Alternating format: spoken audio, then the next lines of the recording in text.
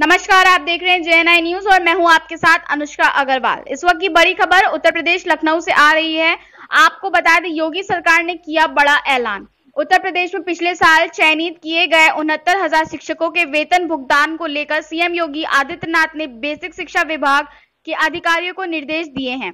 जिसके बाद बेसिक शिक्षा विभाग उनहत्तर हज़ार शिक्षक भर्ती में नव चयनित शिक्षकों के ऑफलाइन वेरिफिकेशन के पेज को हटाते हुए आदेश जारी करने जा रहा है। कोरोना काल में बेसिक शिक्षकों को आर्थिक तंगी से ना जूझना पड़े, इसलिए विभाग ने यह बड़ा फैसला लिया है। अब ऑनलाइन वेरिफिकेशन की जगह नवनियुक्त शिक्षकों को बीएससी कार्यालय में शपथ पत्र देना होगा। बता दें कि उनहत्तर हज़ार शिक्षक भर्ती की पहली काउंसलिंग 12 अक्टूबर 2020 को हुई थी, जिसमें नियुक्त पत्र 17 अक्टूबर को मिला था। वहीं दूसरी काउंसलिंग 2 से 4 दिसंबर 2020 को हुई थी, जिसमें 5 दिसंबर को नव चयनित शिक्षकों को नियुक्त पत्र मिला था। ऐसे में वेरिफिकेशन में वर्ष 2003 के बाद का हाई स्कूल व इंटरमीडिएट का डेटा तो ऑनलाइन है, लेकिन पहले के वर्षों के लिए ऑनलाइन वेरिफिकेशन की व्यवस्था है।